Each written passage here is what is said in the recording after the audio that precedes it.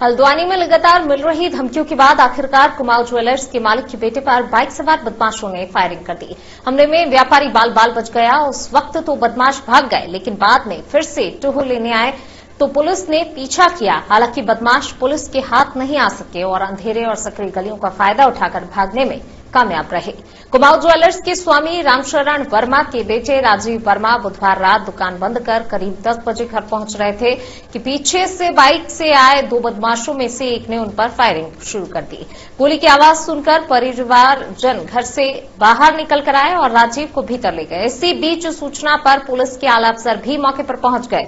Police के सामने ही राजीव के मोबाइल पर व्हाट्सएप कॉल आई। कॉलर ने लॉरेंस बिश्नोई के नाम से धमकी दी और इसकी जानकारी पुलिस को दी गई। जिसके बाद मौके पर पहुँची पुलिस ने बाइक सवार आरोपियों को पकड़ने की कोशिश की, लेकिन वो भागने में कामयाब रहे। हालाँकि पुलिस ने मामला दर्ज कर जाँच शुरू कर दी है। हल्द्वानी से दीपक अधिकारी की रिपोर्ट। कल की घटना यह है कि मैं अपनी शोरूम को बढ़ाकर करीब 10 बजे अपने घर के पास पहुँचा। मैं अपनी गाड़ी पार कर रहा था कि पीछे से देखता हूँ दो मोटरसाइकिल सवार व्यक्ति आए और एक ने बोला, मार साले को फायर तो उतने में उसने गोली मारी। और जो गोली मिस होने के कारण मेरी कार पे लग गई है और भगवान की दया मैं उसमें बच गया हूँ। उसके बाद ये जेल से छूट के आया है और उसके बाद इसके द्वारा ही कल ये घटना की गई, क्योंकि इनके द्वारा उसको आइडेंटिफाई किया गया है और 307 का मुकदमा उस पर पंजीकृत किया गया है।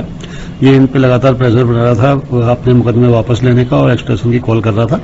इसके इसके लिए पूर्व में दिवाली के पास एक मुकदमा और कायम किया गया था और कल जो दो आदमी जिनके द्वारा ये फायर किया गया, उनमें से पीछे वाले को इनके द्वारा आइडेंटिफाई किया गया है मनोज अधिकारी के रूप में।